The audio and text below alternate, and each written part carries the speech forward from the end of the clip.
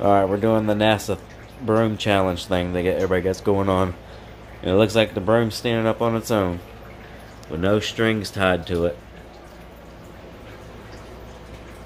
Well, And this is a broken broom. yeah, that's a broken broom too. Then that's that. Peace out.